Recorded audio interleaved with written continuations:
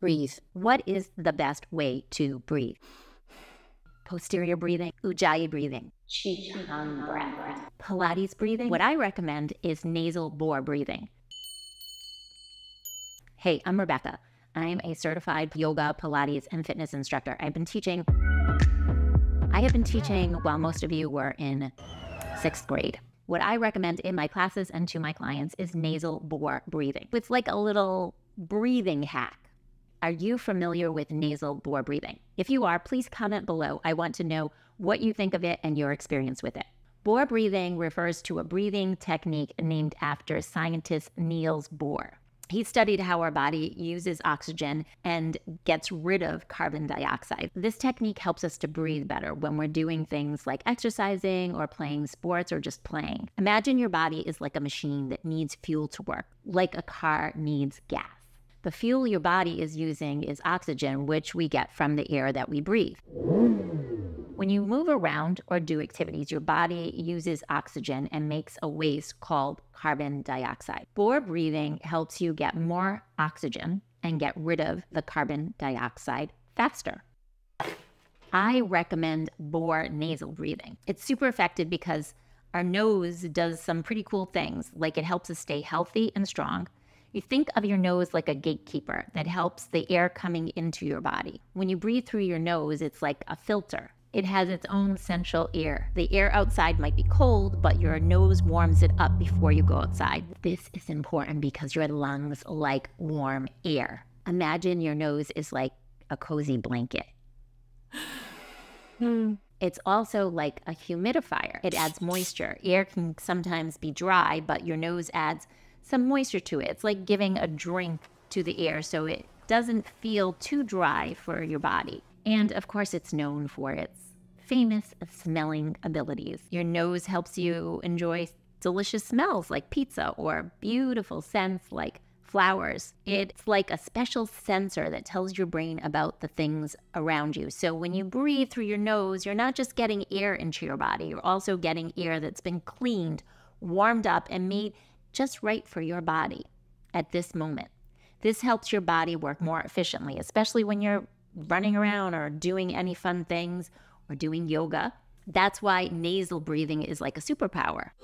It's super effective at keeping you healthy and strong. Okay, now back to Bohr breathing. The Bohr effect is a way to explain how hemoglobin, a part of our blood that carries oxygen, behaves when things change in our body. When we have more carbon dioxide, our body's pH, which is a measure of how acidic or basic it is, goes down hemoglobin doesn't hold onto oxygen as tightly.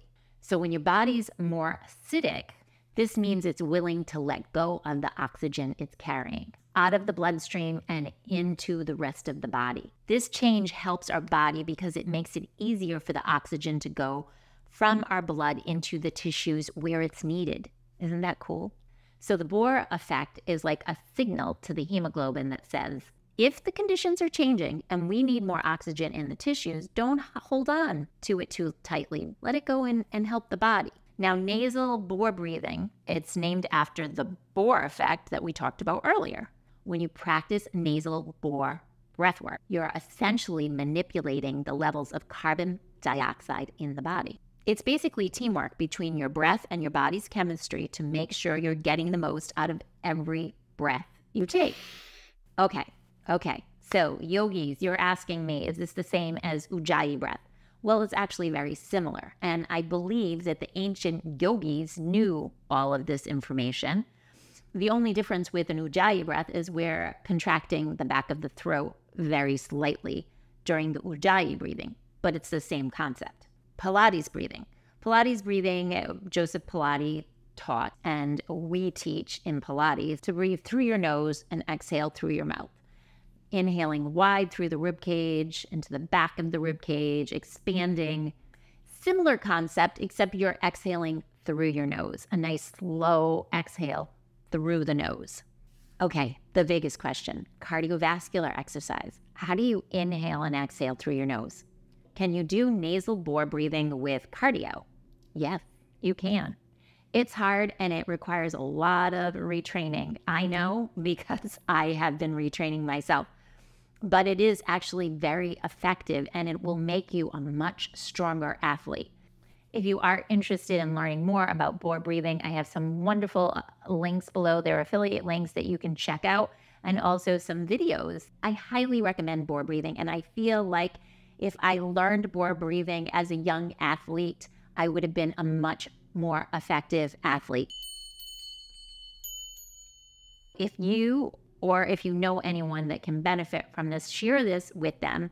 Tell them about Bohr breathing and tell them to start practicing it. Send it to coaches, send it to people. This is how we should be breathing, even at night. In fact, Bohr breathing has been talked about in the dental community. If you breathe properly through your nose, it helps your posture, it helps your face, it helps your teeth. It's fascinating. Okay, friends, I challenge you to practice Bohr breathing, to go try it. Go for a walk and breathe through your nose. Go for a run.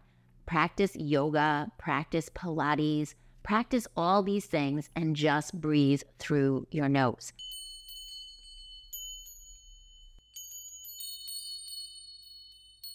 Namaste, friends.